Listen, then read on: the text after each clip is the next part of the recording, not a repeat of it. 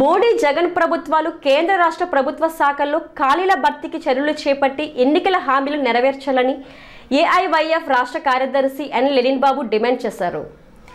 AIYF పదకొండవ మహాసభలు అల్లిపురం నీలం రాజశేఖర రెడ్డి భవన్లో జరిగాయి. ఈ సందర్భంగా లెనిన్ బాబు మీడియాతో మాట్లాడారు. ఏడాదికి రెండు కోట్ల ఉద్యోగాలు భర్తీ హామీతో అధికారంలోకి వచ్చిన మోడీ ప్రభుత్వం పద్దెనిమిది కోట్ల ఉద్యోగులు భర్తీ చేయాల్సి ఉన్న నేటికి ఒక్క ఉద్యోగం కూడా భర్తీ చేయకుండా నిరుద్యోగులను దగా చేసిందని ఆరోపించారు.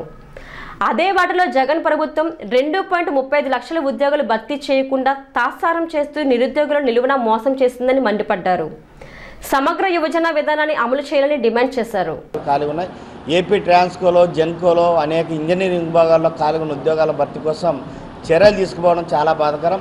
కేవలం వాలంటీర్ ఫోర్స్లు చేసే మేము భర్తీ చేసామని ఆడ చెప్పడం చాలా శోచనీయంగా భావిస్తాను. అందుకోసం ప్రభుత్వం వెంటనే జాబ్ నోటిఫికేషన్లు విడుదల చేసి వాటిని భర్తీ చేసే చర్యలు తీసుకోవాల్సిందిగా వీటన్నిటిపైన జూలై నెలలో అన్ని విద్యార్థి సంఘాలు కలుపుకొని చలో విజయవాడ కార్యక్రమం కూడా నిర్వహిస్తామని ఈ సందర్భం తెలియజేస్తూ ఏమై ఏదేమైనా రాష్ట్రమైన దేశమైన అభివృద్ధి కావాలంటే యువతకు ఉద్యోగం ఉపాధి కల్పించడం ద్వారా అభివృద్ధి అవుతుంది. ఆ విషయాన్ని పాలకపక్షాలు గమనించాలి. అందుకోసం నిరుద్యోగ సమస్య పరిష్కారం కోసం సమగ్ర యువజన విధానాన్ని తీసుకొచ్చి వాటిని అమలు చేయాలని కోరుతా ఉన్నాం. అదేవిధంగా నిరుద్యోగ యువతకు నైపుణ్యమైన శిక్షణ ఇప్పించాలి. వాళ్ళకి స్వయం ఉపాధి కోసం బ్యాంక్ రుణాలు కూడా ఇచ్చి ఉద్యోగంతో పాటు స్వయం ఉపాధి కోసం బ్యాంక్ రుణాలు ఇచ్చి వడ్డీ లేని రుణాల ద్వారా యువతకు ఉపాధి కల్పించాల్సిందిగా డిమాండ్ చేస్తాను. ఎన్ లెనిన్ బాబు ఏఐవైఎఫ్ రాష్ట్ర